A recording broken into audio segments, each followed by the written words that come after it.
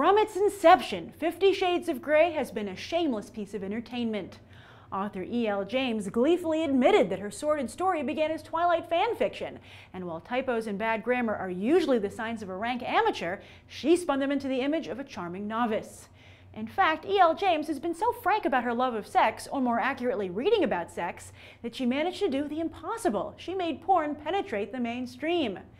We have yet to see if Fifty Shades of Grey was merely a literary flirtation or will become a steamy franchise affair, but she's found a shameless equal in director Sam Taylor Johnson. Taylor Johnson is one of those artists made famous by how she promotes her art rather than the art itself, such as recreating this iconic John Lennon and Yoko Ono portrait, a video portrait of David Beckham sleeping, and a series of photographs of Hollywood's leading men crying.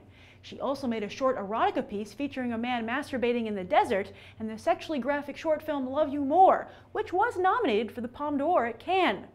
And of course, she made her biggest headlines when she married the star of her first feature film, Nowhere Boy, Aaron Johnson, aka Kick-Ass, 23 years her junior. And now that she's officially on board as the director of Fifty Shades of Grey, she's taking the film's profile to not just the next level, but to an unseen level for such a film. How's she doing it? By hitching a ride in the coattails of the current comic book movie phenomenon. In a ballsy move, Fifty Shades of Grey is now set to open opposite Marvel's own gamble, Guardians of the Galaxy, on August 1st, 2014.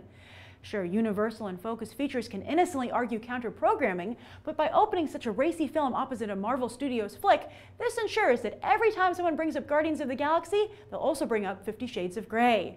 Furthermore, Fifty Shades of Grey has sparked a rumor that they will announce their cast at this year's Comic-Con, a convention Twilight surprisingly dominated for years, much to the annoyance of many a fanboy. Is Fifty Shades of Grey a genuine threat to Guardians of the Galaxy? To be fair, Guardians isn't completely defenseless. That flick has its own controversial director, Troma's James Gunn, who also had a short-lived web show called James Gunn's PG Porn on Spike.com. He also made headlines a few months ago when his controversial The 50 Superheroes You'd Most Want to Have Sex With list resurfaced. Deemed sexist and homophobic, it almost cost him his Marvel gig. Plus, Zoe Saldana plays green-skinned assassin Gamora, while Doctor Who's Karen Gillan is rumored to play Warrior Without Pants from Heaven, Angela.